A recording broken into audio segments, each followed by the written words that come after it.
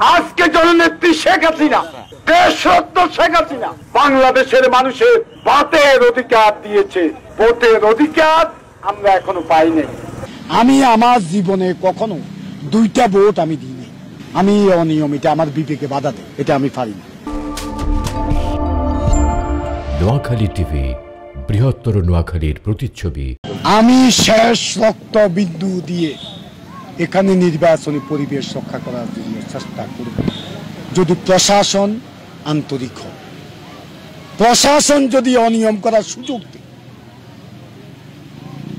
আজকে এই যে রাজনীতিক নেতাদের এই কথাটা আমি বলতে হয় রাজনীতিক নেতাদের বিচার হইতেছে মানুষ খুশি দুর্নীতিবাজ নেতাদের বিচার হইতেছে।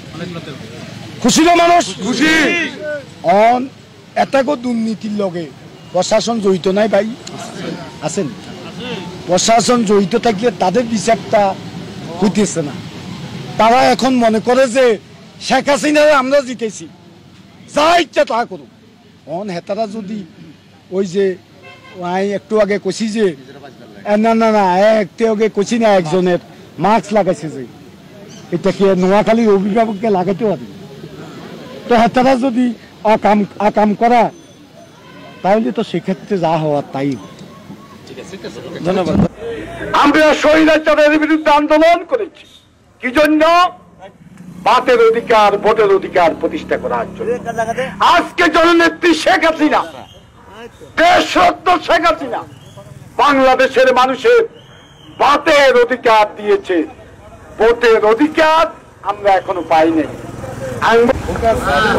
আছে? বিএনপির দুর্গ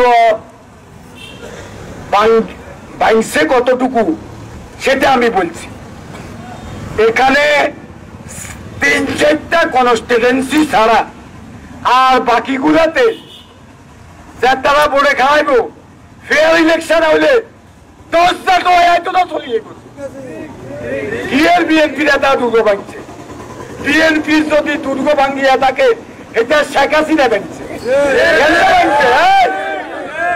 হ্যাঁ তারা বলে নেতা। হ্যাঁ?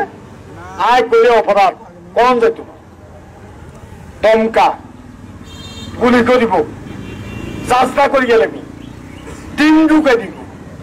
কি খুশি বুঝছেন? এখানে আমরা করে জানো যে অস্ত্র গত পার্লামেন্ট ইলেকশনে কন্টুন কন্টুন আছে কোন কোন দলের আঙ্গ দলের কারা কারা আনছে? ব্যাগ থানাকে আমি বলছি।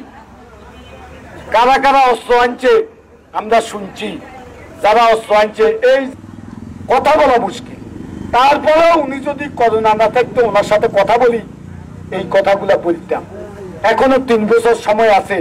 আমরা আমাদের দলকে যদি সংশোধন না করে, যদি আগামী নির্বাচন অবাধ, সুষ্ঠু নিরপেক্ষ করতে হয়, তাহলে আমাদের দলে সংশোধন করা দরকার, দলের নেতাদের সংশোধন করা দরকার। আমি আমি কেন্দ্রের সকল দলের নেতাদেরকে আঙ্গুল দিয়ে দেখি, দেখিয়ে দেব, গণতন্ত্র কি? গণতন্ত্রের সংজ্ঞা কি? এটা এখান থেকে প্রমাণ করে দেব বলব ফেয়ার যদি একখানে কাজ সুপিয়র আজ যদি একখানে কাজ সুপিয়র ইহান লগে লগে বন্ধ আপনারা আরও বলবেন আমি বন্ধ করার ব্যবস্থা করব। শুনেন আমার প্রথম এবং প্রধান কাজ হচ্ছে একটা অবাধ সুষ্ঠু নিরপেক্ষ নির্বাচন করা এ কাজে। এই নির্বাচন সুষ্ঠু করার জন্য প্রশাসনকে সহযোগিতা করা। আমি নির্বাচনে হেরে গেলেও আমি আমার প্রতিপক্ষ যে নির্বাচিত হবে, তাকে অভিনন্দন জানিয়ে আমি আমার কর্মীদেরকে নিয়ে মিষ্টি খেয়ে আমি বাড়িতে ফেরত যাব। আমি আজকে জাতীয় নেতা যে যে দল করে, তাদেরকে চোখে আঙ্গুল দিয়ে দেখাতে চাই যে এটাকে বলে অবাধ ও সুষ্ঠু নির্বাচন এবং গণতন্ত্র। আমার এটা হলো প্রথম কাজ।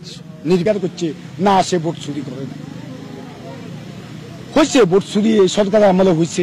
আমাদের গত নির্বাচনেও ভোটে অনিয়ম হয়েছে।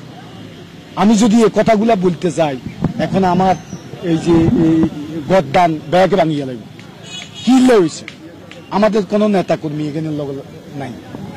এখানে অতি উৎসাহী প্রশাসনের লোক অতি উৎসাহীরা এগুলা করছে। গতবারের নির্বাচনে অনিয়ম করছে। আমি আমার জীবনে কখনো দুইটা ভোট আমি দিইনি। আমি একটা ভোটে দিয়েছি। আমি অনিয়ম এটা আমার বিবেকে বাধা দেয়। এটা আমি পারি না। এই অনিয়মের নির্বাচন বন্ধ হওয়া উচিত। শেখ হাসিনা চেষ্টা করতেছে। পারবে ইনশাল্লাহ। নোয়াখালী টিভি, বৃহত্তর নোয়াখালীর প্রতিচ্ছবি